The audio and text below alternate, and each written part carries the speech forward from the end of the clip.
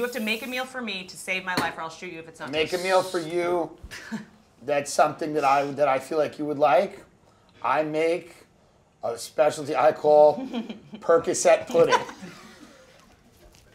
now, what's good about it is it's pudding, but it has Percocet in it.